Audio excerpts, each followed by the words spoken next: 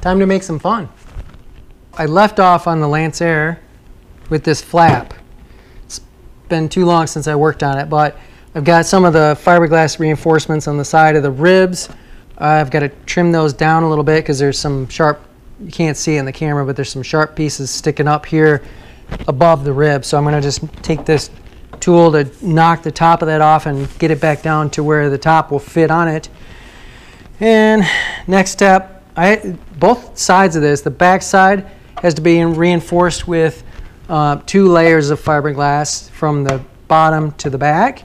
And then the front side gets, gets three bid on the entire front all the way down, but it also gets seven additional pieces or seven bid at each hinge location. It gets a total of 10 bid or 10 layers at each hinge location on the outside and another two on the inside. So you got 12 layers plus what the this rib already has a couple layers on either side. So and the reason for that is because all of the the force, the control rod for the flap is on the inside all the way down here. You're coming in like uh, coming in on final uh, somewhere around 100 knots on this plane. That's a lot of, a lot of force out here on the outside of that. You don't want that flap twisting at all in the wind. That is why there's so many layers along the front of that to make that front side of that flap as strong as it could be so it won't twist. Uh, I'm going to make some noise now.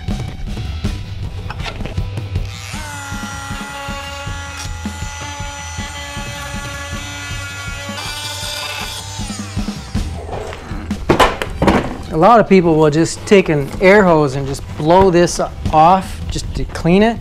But I don't like to do that because all that's doing is putting all that stuff in the air and then I'm breathing it in. So I don't really want to breathe in all those fiberglass particles and a little bit of carbon fiber stuff. Technically, I should be wearing a mask when I do that, but.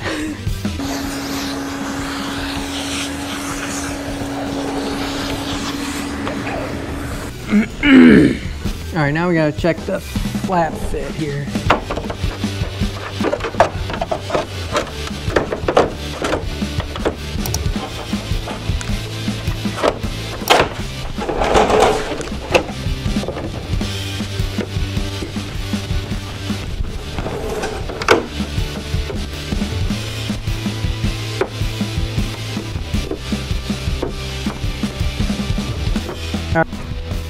I've got to put 10 layers of fiberglass at each hinge location.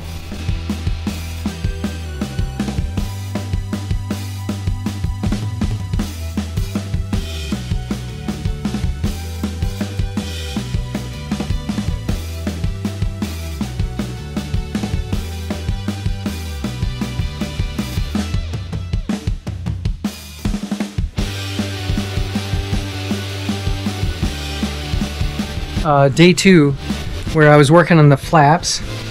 I want to explain just a little further about vacuum bagging. This is a vacuum pump and it does exactly what um, you would expect it to do by the name. It's a vacuum. I mean, you literally could use a uh, vacuum cleaner to do vacuum bagging, but eventually the motor would overheat and it's a lot louder, so it's It's not as much fun using a vacuum, but it does work because I have used it before. All right, so here's a better view of the vacuum pump. It's literally just an electric motor with a, a pumping mechanism on the end. It's got it's oil filled to keep it from getting too hot, and it's just creates a vacuum like a vacuum cleaner does. This over here, you can see, this is just uh, the vacuum line with a with a vacuum gauge on it, measures in inches Hg uh, and it has a trap in case you in case you're sucking fiberglass close to the line it'll go in here and drips the resin into this so that it won't get in the tube and go into the vacuum uh, pump, pump or vacuum motor there. You come all the way back here. Got a nylon tubing on this and it's probably I don't know what do we got 40 feet of it or something? Home Depot and then you have a vacuum port here. This is just a silicone fitting that this just pushes into. The whole purpose of vacuum bagging is that you want to suck all the extra resin out of the project you're working on. One, to make it lightweight, and two, so you don't get too many thick areas where you, where you've put a bunch of layers of uh, cloth and resin down. It, the thickness will build up quick. So by sucking all the air out, it squeezes that down and pulls the resin out. Let's say less than 100 bucks, you can be set up with that. Now, let's take this one apart and see how this come out.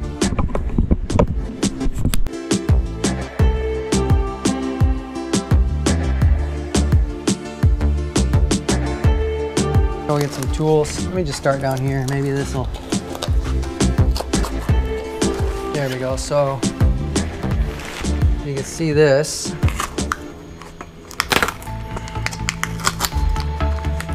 That's how it's supposed to work. Oh, there's a I'll just take a piece off. So you can see here, it sucked all of the extra resin out of this area and it soaked it right through this material. So this is the extra resin that gets thrown away. Instruction manual was written somewhere around 1989 or 90 for this airplane, so 30 years ago. Uh, you know, and you're following along because it gives you step by step, and they say to um, mount the hinges to this, put them on the wing, get the bottom of this flush, but then you go back in a later step when you're trying to finish the top of the flap, and then they have you add seven layers at the hinge locations plus the three for the full length. So you're adding 10 layers of fiberglass. In this case, I added a little bit of carbon fiber. Um, but you're thickening up where the actual hinge mounts on the inside of this surface. So now I have to go back and basically remount the hinges so that this isn't pushed down by that 10 layers because the hinge mounts on this surface.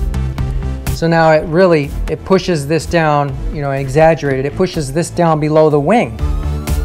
So now I have to go back and maybe build the surface up on the back of the wing to equal this so that this sits flush.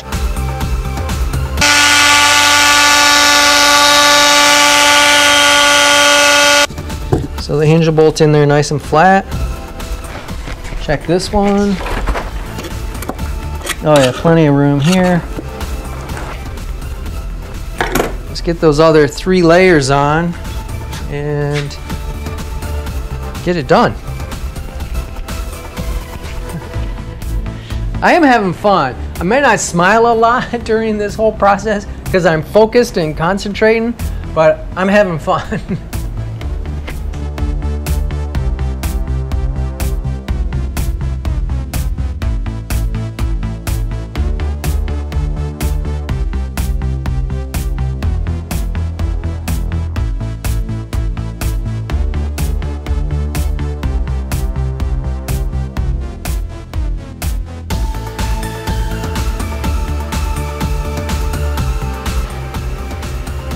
that's what a good vacuum bagging looks like. Where the line goes in, how much it's suctioned down. I mean, I can't, I can't even budge that to pull it off. Nice, we have, I have 22 inches vacuum on that. What that translates to is about 11 pounds per square inch.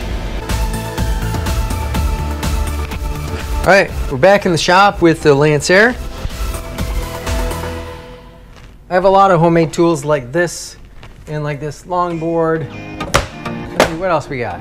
Here's a sample of like sanding tools that I've just made up. Here's a piece of, I don't know, one and a half inch aluminum tubing. It's got a long strip. If you want a straight edge, that's where you're gonna get it. So, it looks like my tape is coming loose, but you just tape a, like a uh, emery strip over this or sanding strip on it and you get a perfect straight edge. Another one, just a board that I stapled some really coarse like 80 grit to for breaking stuff down fast. You want to get into a curve. It's a piece of plastic tubing. You just tape a piece of sanding stick on that. Hey, paint stick even works. And a good one, really good one is soft foam. It's like pipe insulation with a, a sticky DA pad. Just slap it on there and you can squeeze it and massage it into a corner and it works perfect for getting some of the shapes on the airframe, you know, be, transitions between the wing and the fuselage. This was perfect for that. More shop tools. These are weights off an old weight bench somebody was throwing out. So I grabbed a whole stack. I, I don't know, I've got 200 or more pounds of this stuff laying around and it's perfect for when you need it for jobs like this.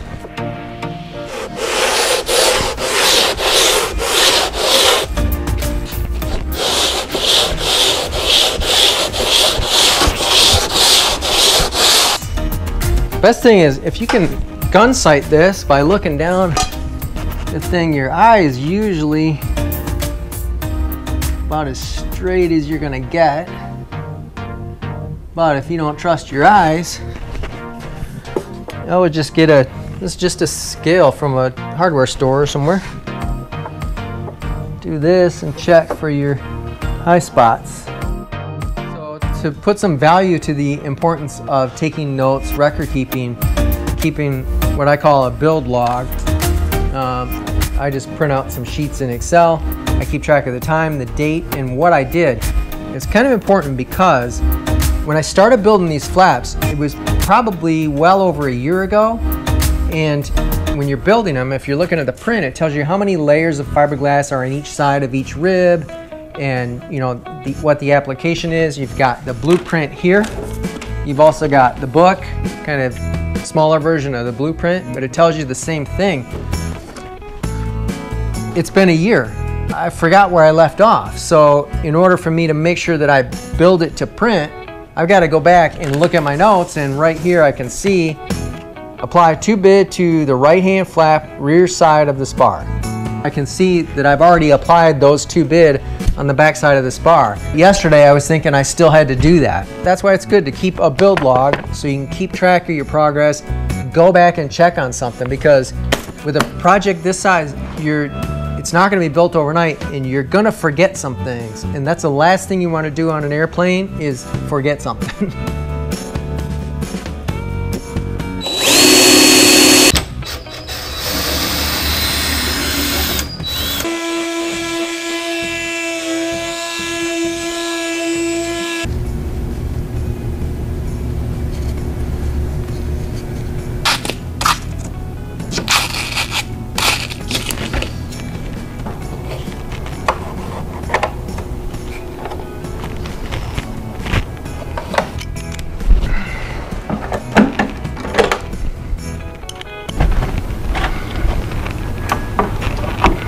this is a plan. This is my little spacer. It's a washer. They're all, they were all just around 70 thousandths and four pieces of tape brings them up to 88, which is perfect because I wanted about 80 thousandths. By the time I clamp this down, it'll be nice and tight. so this is going to go in here and sit right where the end of the bar that angle iron can clamp down there just outside of the hinge area. So it gets the same setup on both ends of the hinge. Little spacer. Just put it outside of here. And I'll be able to see the blue tape to know where to clamp that, that angle iron down. So basically the angle iron will sit across there and bridge that gap to leave an 80 thousandths layer of fiberglass right there. Perfect the way I want it.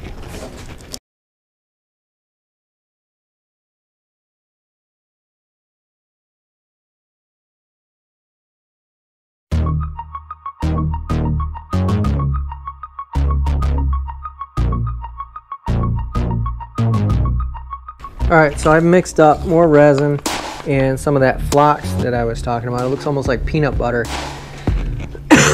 and again, the flox is structural. So I'm just gonna kind of put a layer down and we're gonna sandwich this stuff in there with the hinge on top of it.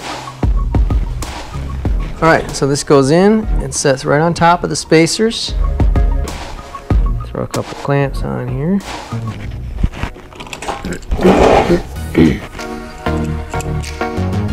Good morning. It's uh, day four, working out in the hangar on the Lancair project. I added five layers of fiberglass cloth there and some flox mixed with my epoxy. I put a little spacer in here on either side of the hinge and then put this straight edge and put it across two hinge locations so that my hinges stayed flat to one another. I've got the outer done here, middle done here. I've got to shift this all down and do the last one here. That should cure up within an hour or so.